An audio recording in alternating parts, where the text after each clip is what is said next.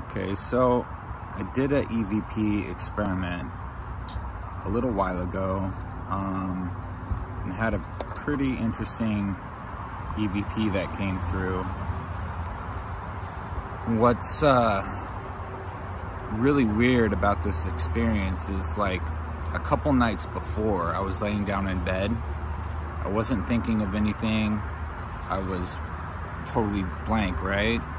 And I had something, I had a voice come through and basically tell me word for word, like literally word for word, the exact thing that you'll hear the EVP come through and say. When I was uh, doing this experiment, I was trying to connect with my spirit guides and uh, an EVP came through um, saying you're a god. Um, Okay. now, I'm trying my best not to let my ego um, get too much in the way of uh, this video or my thoughts on exactly what it means.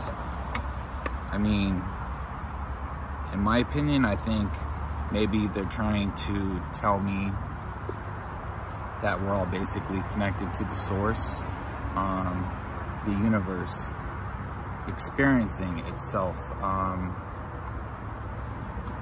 through each one of us. Okay. Basically, that's pretty much what I'm getting out of it. But I just thought it was really, really weird. Um, you know, it's kind of like a mind fuck.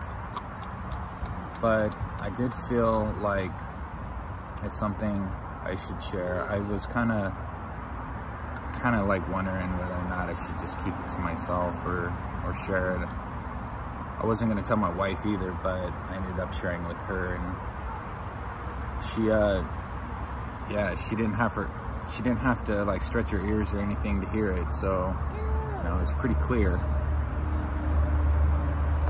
So let, let me know what you guys think, how, like, how you interpret, you know, spirits coming through, you know, telling me weird shit like that.